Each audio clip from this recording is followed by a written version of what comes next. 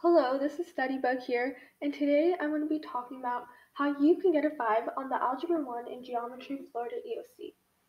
This EOC means it's the end of course exam, and if you're doing one of these courses, you have to pass this exam in order to get credit for a class, and it's often a graduation requirement. It's really important to do well because, as I said before, it's sort of a big portion of your grade, and you want to be able to graduate when it comes to the end of the year. So these are things and resources that helped me get a five, which is the highest score. So even if these methods don't work for you, you can at least look at these resources and they'll re- be really helpful in studying.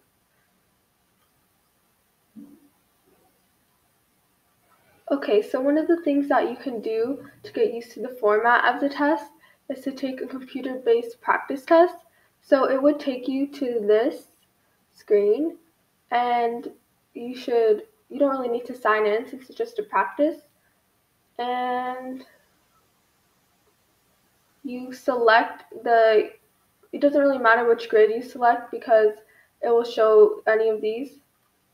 And then this is the practice test that you can take that can show you how the format goes for each of these tests. And it's really important because you might get confused on how the testing format is so, yeah, you might you can get used to all these tools and I'm not going to go really in depth in this because you might have already done this with your teachers and class and so you should yeah, anyway, you should basically try this out. And once you're done with that, there's also an answer key that you can find here and it will tell you the answers to all the questions.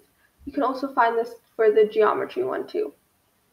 Another thing that you should do is go to Algebra Nation and do all the tests yourselves. I personally did all the tests yourselves because it was required.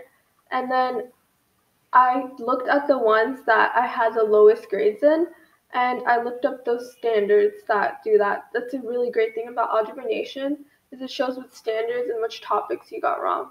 And again, you can also find the same thing for geometry.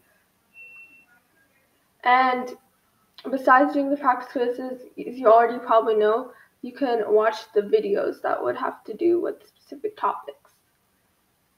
And anyway, once you're done and you've picked out what your strengths and weaknesses are, you can search up the specific standards on floridastudents.org.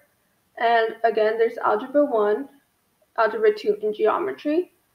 So for Algebra 1, you can find the resources for each standard, which is really nice. I didn't really know about this.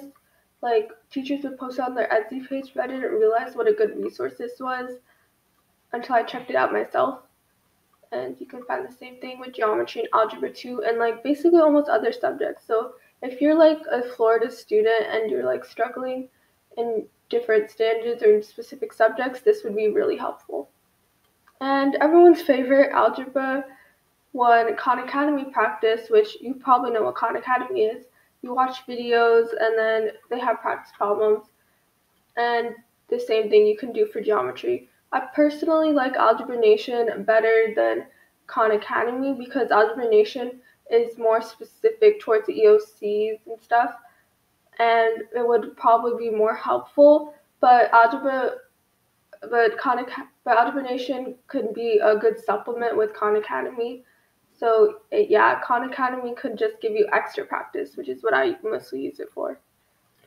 In addition to these resources, you can always um, go to your ex- your teacher and ask them for practice and do ex- ELP, and that could help you a lot because I did that with my teacher, and I really it really helped me understand. And you can also look at your past semester reviews or your EOC reviews. Also, another thing that's cool is some like FOVS, they do review classes at the end. So ask your teacher about that, or please take a look on your messaging page, and maybe your teacher will say something about it. These are basically some general tips that I'll probably end this video with. Make sure you understand the tools and get used to the format. You really don't want to be wasting time trying to figure out what's going on. So yeah, you would probably like I said before, use the computer-based practice tests on FSA assessments, and also know what formulas you're provided. This is especially important for the geometry and EOC because sometimes you're you have to memorize the formulas, especially for the volumes and surface area. And also, don't always depend on the multiple choice because a lot of the questions aren't multiple choice. I know for geometry, you have to know the proofs and the reasoning behind your answers. And there's this one girl for this whole second session that I know that didn't get any multiple choice and they're all fill in the blank and matching. And those are really important to get right because if you get one of the proofs wrong, one of the matching wrong, which also goes for algebra, then you get the whole question wrong and you don't want to do that. And finally, you should have confidence in self, yourself. You got this. You've been studying for it. You've been preparing this whole year. And I'm pretty sure you guys will all do amazing. Okay, that pretty much ends our video. Make sure you like, comment, and subscribe. And happy studying. Bye!